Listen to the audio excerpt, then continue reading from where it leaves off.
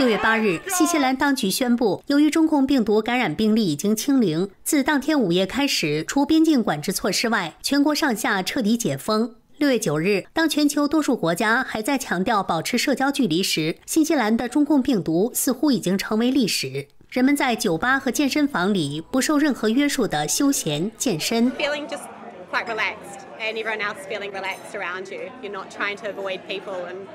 Um, you can talk to people without feeling like you need to stand back.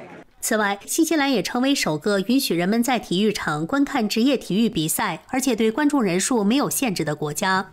不过，新西兰总理哈德恩也表示，虽然目前新西兰的疫情已经结束，但对中共病毒的防疫仍将是一项持续的工作。